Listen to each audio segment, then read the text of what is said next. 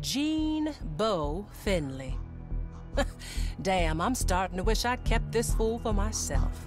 Rich dandy who read one too many dime novels, out there trying to play outlaws with the big boys. Loves himself just as much as his daddy clearly didn't. Spent his inheritance rounding up the best gunmen money can buy, but they don't give a damn about Beau. Their only job is to make him look good, get his name in the newspapers. He and some of his fancy rifle club friends have taken over the old mansion at Shady Belle. Lots of guards, lots of weapons. Nothing but the best for young Beau. So why don't you head over there and dirty up his suit a little?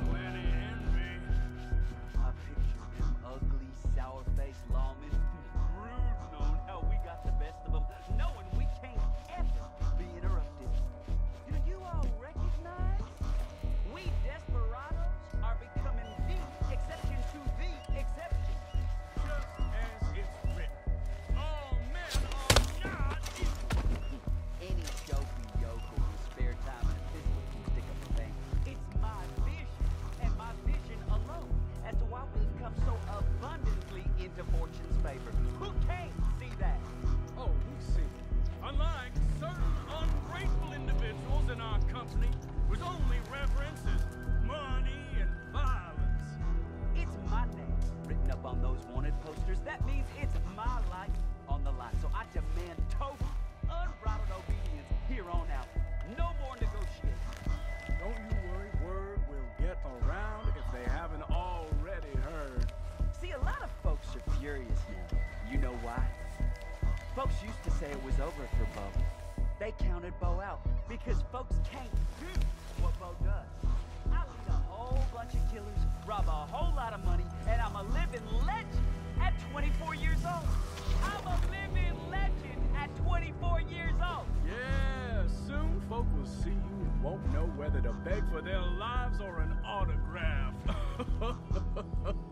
And it isn't for nothing either, boy. Entire nations will know the name Gene Beau Finley, even more so after I'm dead and gone. Time folks start putting some respect on that name. Ooh, I can just feel it right.